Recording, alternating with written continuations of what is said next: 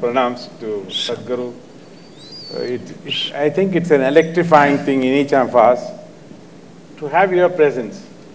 so close, so endearing. I know everybody in the audit, beautiful auditorium here. I think all of us, when we go home, we're going to switch on the TV and want to see something which is, uh, but, or open the newspaper in the morning. There are many times all of us feel this. I think I'm sharing everyone's opinion here. What's our nation? Why is our nation like this?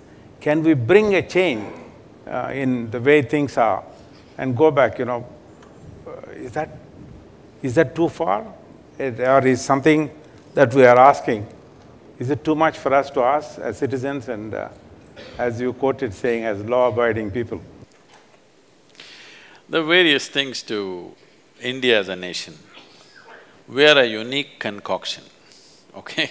Compared to any other country, uh, we are a… we are a magnificent chaos.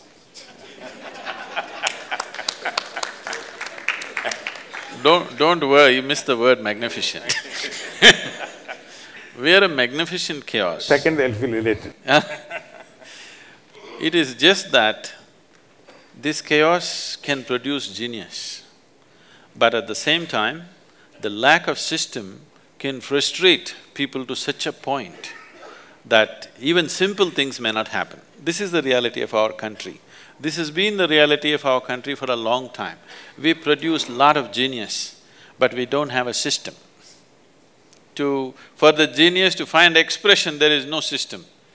So, we have to find a balance between these two. So, a systematized presentation of management is needed for all levels of people. In this country, leadership is one big bankruptcy.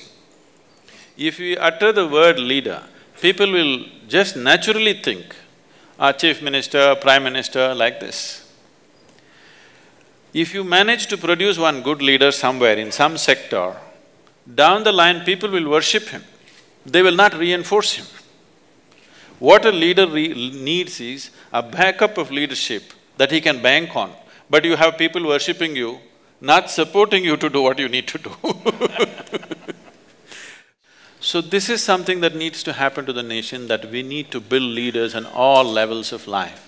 You will see if some situation happens on the street, you will see thousands of people will stand there and gape at it. There is not one leader who'll stand up and say, okay, let's do this.